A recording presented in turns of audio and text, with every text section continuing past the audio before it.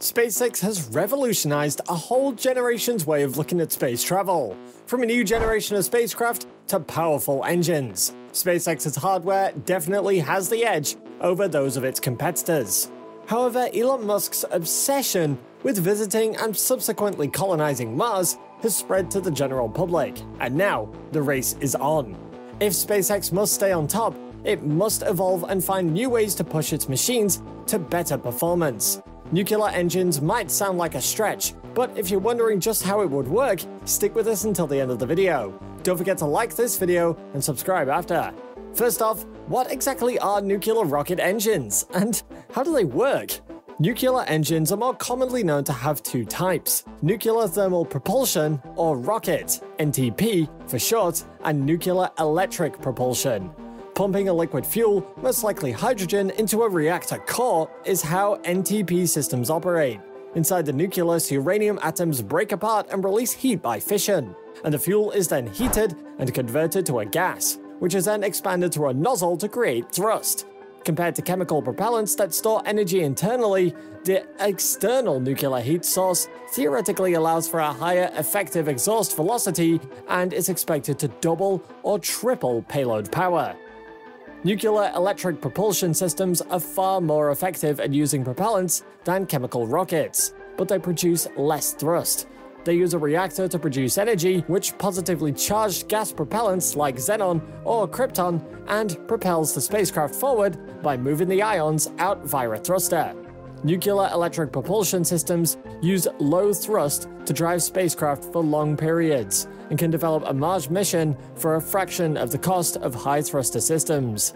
NASA is examining preliminary reactor design ideas for a nuclear thermal propulsion system in alliance with the Department of Energy, DOE. The agencies plan to finance several initiatives to test various approaches. Future contracts will result in more comprehensive reactor design and the construction of preliminary research hardware.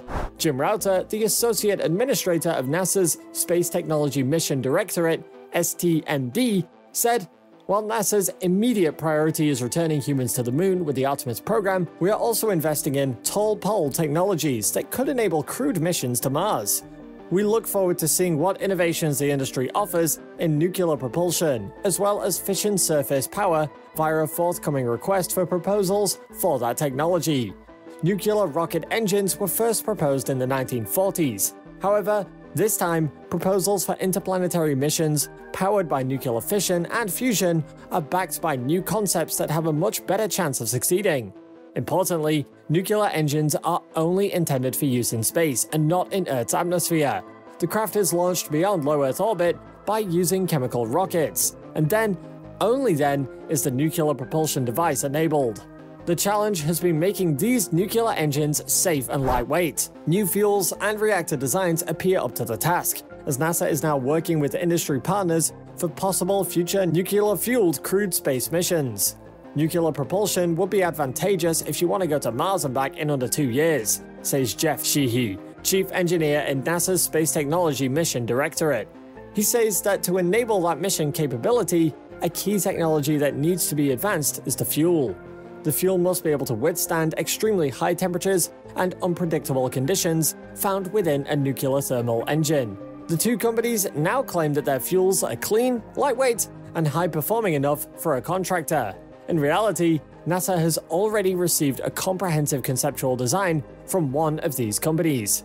Nuclear thermal propulsion uses energy emitted from nuclear reaction to heat liquid hydrogen to about 2430 degrees Celsius, which is about 8 times the temperature of nuclear power plant cores. Like we said before, when the propellant expands and jets out the nozzles at extremely tremendous speeds, it can create twice the thrust per mass of propellant as compared to that of chemical rockets. This would allow nuclear powered ships to travel longer and faster.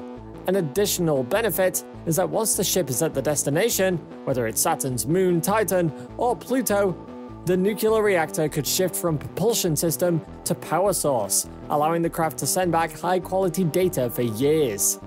Producing adequate thrust out of a nuclear rocket used to require some weapons grade, highly enriched uranium. However, low enriched uranium fuels used in commercial power plants would be safer to use. Still, they can become delicate and fall apart under the blistering temperatures and chemical attacks from the extremely reactive hydrogen.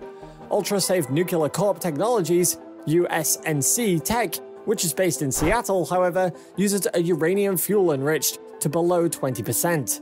While that is a higher grade than that of power reactors, it can't be diverted for nefarious purposes, so it greatly reduces proliferation risks, according to Director of Engineering Michael Eades.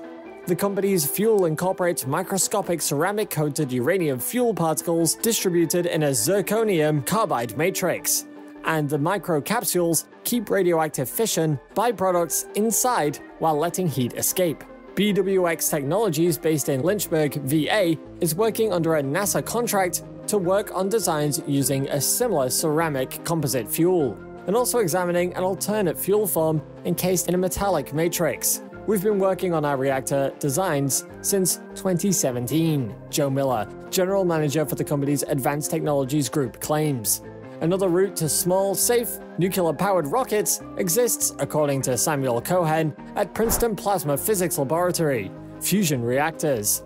Reports state that mainline fusion uses deuterium and tritium fuels, but Cohen is leading efforts to make a reactor that relies on a fission between deuterium atoms and helium-3 in a high-temperature plasma, which produces very few neutrons. We don't like neutrons because they can change structural materials like steel to something else, like Swiss cheese, and can make it radioactive, Cohen says. The concept from Princeton Labs, called Direct Fusion Drive, also needs much less fuel than conventional fusion, and the device could also be one thousandth as large, Cohen says.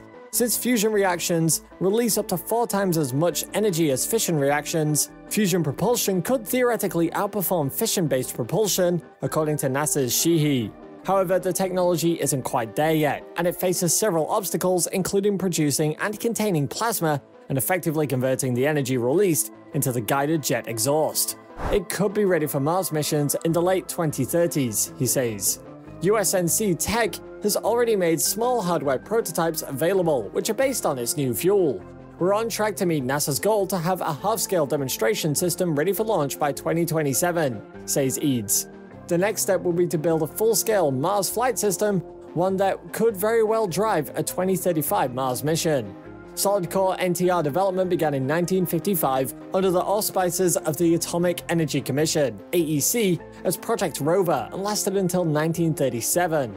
Los Alamos National Laboratory and the Nevada Test Site's Area 25, Nevada National Security Site, worked on a suitable reactor.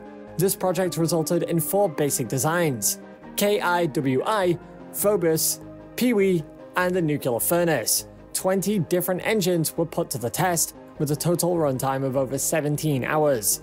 NASA was granted authority over all non-nuclear aspects of the rover program when it was established in 1958, while the Space Nuclear Propulsion Office, SNPO, was established at the same time to facilitate collaboration with the AEC while keeping sensitive information separate. The aim of the NERVA program, which began in 1961, was to bring nuclear thermal rocket engines into space exploration. NERVA aimed to create a real engine that could be deployed on space missions, unlike the AEC work intended to research the reactor design itself. The NERVA baseline, designed for 334 kilonewtons of thrust, was based on the KIWI B4 series. SpaceX's Starship will be a beast of a ship. It's going to be powered by around 28 Raptor engines and provide some 16 million pounds of maximum thrust. It should also be able to lift at least 100 tons of payload and possibly as much as 150 tons to low Earth orbit. The ship's going to be used for long haul trips to Mars and back, which could take up to 9 months each way. However, if Starship upgrades its engine cache to an NTR, the already groundbreaking thrust could increase by as much as twice. Travel time could go from 9 months to about half of that and that would lessen the risk of losing astronauts on the way. This would also reduce their openness to space radiation, which can cause health problems including radiation sickness a heightened lifetime risk of cancer, central nervous system effects, and degenerative diseases. It would also decrease the overall risk of the mission. Would you buy tickets to Mars on a spaceship powered by nuclear engines? Let us know, and thank you for watching our videos. While you're still here, go ahead and click on one of these two videos on your screen. See you there!